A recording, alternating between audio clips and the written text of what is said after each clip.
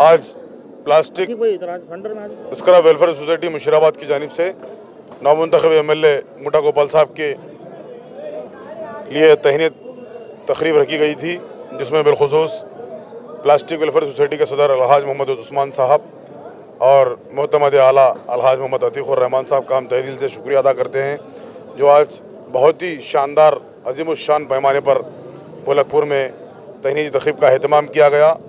بالخصوص آج اظہار تشکر کے طور پر بھی آج انہوں نے عنوان کو رکھا تھا۔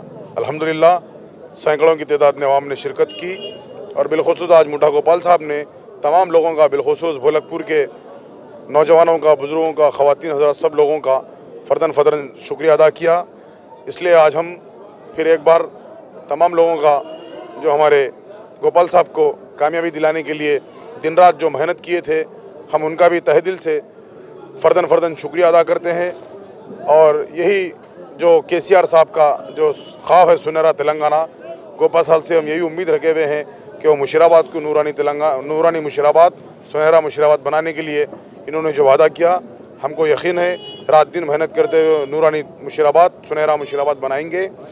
پھر ایک بار میں پلاسٹک ویلفیئر سوسائٹی کے عطیق الرحمان اور عثمان صاحب کا تحریر سے شکریہ ادا ہوں۔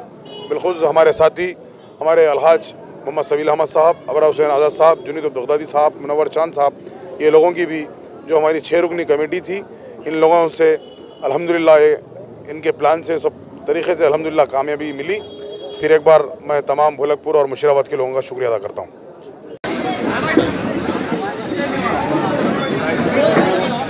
حلقہ اسمبلی کے میرے جناب گوپال صاحب، مخاطب فرمائیں گے۔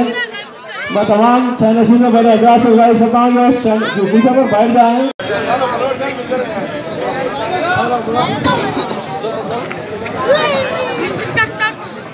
بھائی انا کا صحت کا خیال کرتے ہوئے زیادہ وقت نہ لیں مہربانی ہوگی۔ اس کے بعد پھر انا گوپال انا کچھ بولیں گے۔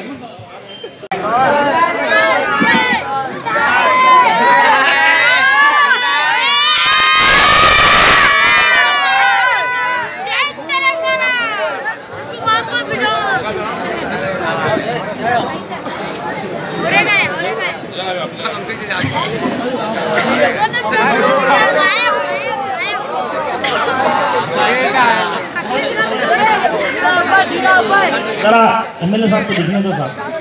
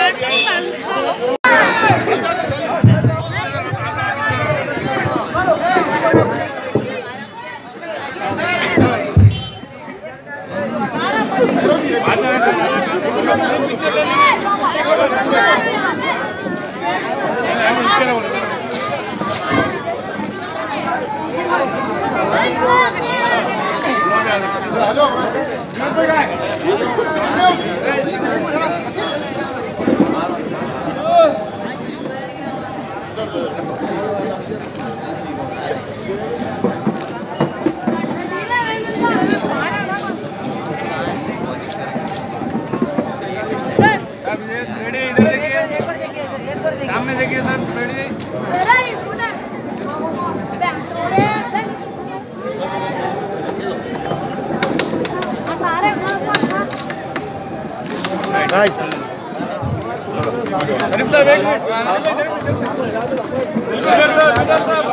شریف صاحب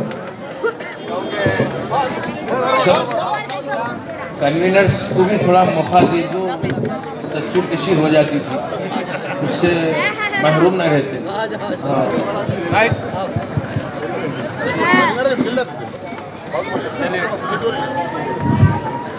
اور ساتھ ہی مومنٹوں بھی پیش کریں۔ اور بچوں سے کہنا وہ تالیوں میں بھی تالیوں کے ساتھ ماشاء اللہ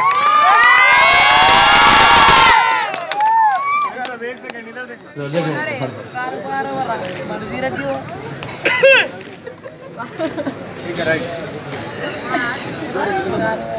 اب میں Musheerabad plastic scrap traders welfare society کے نائب صدر جناب حفیظ الدین صاحب سے گزارش کروں گا۔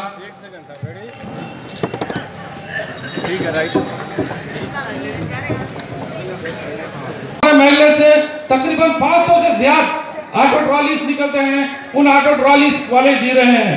پھر اس کے بعد ہمارے یہاں کے بیپاریوں کو نہیں آتا ہے۔